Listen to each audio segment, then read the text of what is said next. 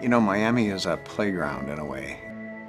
It's very relaxed and yet it's sophisticated and there's an elegance about it. When we first went to the site, the views were magnificent.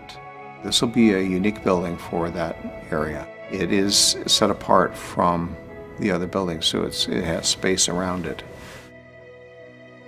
One of the devices we use to relate our architecture to was the Riva boat because they're so beautifully designed. And yet they're relaxing and they are elegant and I think they relate very beautifully to Miami and the lifestyle that everyone wants to have.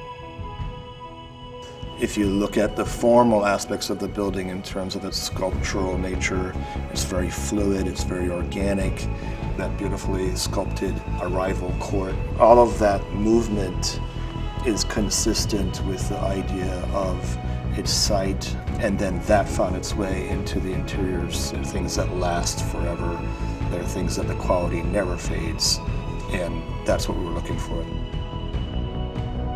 I work with my team to create functional family home. This is going to be a gym, kids club, cinema, private dining, and we have uh, two great pools. We're going to build a marina there so you can keep your boat. I bring uh, my team from Amman who designed the spa for the building.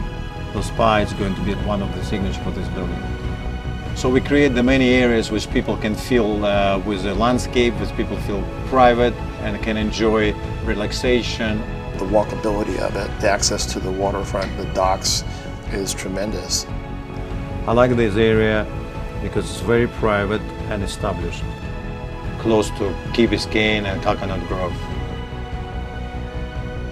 So the combination of their modern, uh, great building with all the great amenities and service, and this I call luxury uh, living.